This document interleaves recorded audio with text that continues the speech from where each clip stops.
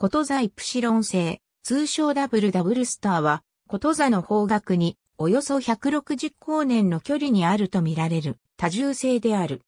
前天に見られる多重星の中で最も傑出したものとも言われる。こと座イプシロン星は双眼鏡があれば、あるいは視力が非常に良ければ、肉眼でも二重星として見える。この体のうち、西側は、こと座、イプシロン一星、または、こと座四番星、東側は、こと座、イプシロン二星、または、こと座五番星とも呼ばれる。イプシロン一星とイプシロン二星は、小光形でも、良質の望遠鏡を使えば、いずれも二重星であることがわかる。イプシロン一星とイプシロン二星が共に重星であることは、1779年にウィリアム・ハーシェルによって言及されたのが最初とされる。その後、1831年にビルヘルム・シュトルーベが初めて正確に理覚を測定し、以後観測が重ねられている。シュトルーベは、ヨエ星の測定だけでなく、イプシロン1星とイプシロン2星の間に、さらに2つの構成があることも明らかにした。その後、ジョン・ハーシェルがさらに3つの構成を、イプシロン1星とイプシロン2星の間に発見した。1985年には、スペックルイメージングによる観測で、イプシロン2に新たな構成が検出され、その後も数度検出されているが、別の構成との取り違いがあったり、測定値に一貫性がないことから疑問も持たれている。ことザイプシロン星系は、ワシントン重星カタログでは10個の構成が収録されており、WDSJ18443 プラス3940の A から I まで、そして C は CA と CB の二重星となっている。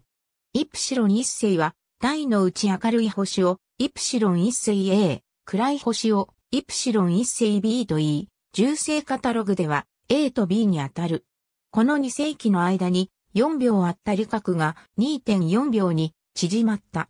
明るさは A が5.01等、B が6.10等、スペクトル型は A が A4V、B が F1V とされる。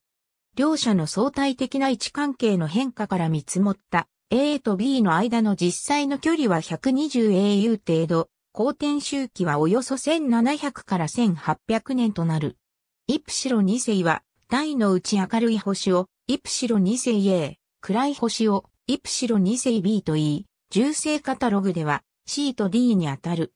理覚はこちらも約2.4秒で明るさは C が5.25等、D が5.38等、スペクトル型は C が A8VN、D が F0VN とされる。C と D の間の実際の距離は 110au 程度、公転周期はおよそ720年と見積もられている。C は、両剣座、アルファ2型星である可能性が指摘されているが、確定はしておらず、変更星総合カタログでも新しい変更性候補に止まっている。イプシロン1世とイプシロン2世の間は、理覚が約3.5分で、実際の距離にすると0.16光年にもなる。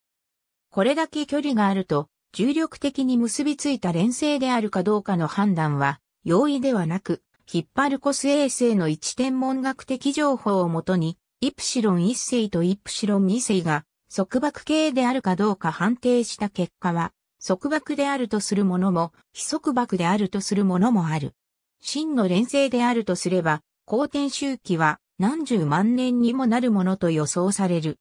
E から I の5つの構成は、年収視差からすると、イプシロン1世、イプシロン2世とは、物理的な関係がない偶然同じ方向に位置する構成とみられる。ありがとうございます。